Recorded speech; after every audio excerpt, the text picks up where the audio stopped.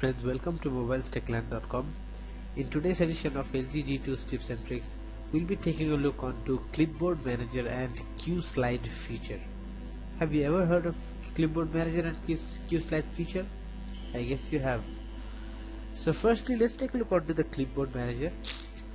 Anything that you've copied, such as an image or texts, are stored in a built-in Clipboard Manager that can be accessed by pressing and holding an empty text box.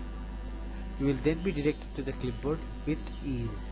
So select an empty text box, press it and keep it keep holding it and then you can access the clipboard manager with ease. Now it's time to take a look onto the Q-Slide feature. The Q-Slide feature allows you to open some apps over other apps in special windows. Some means selective.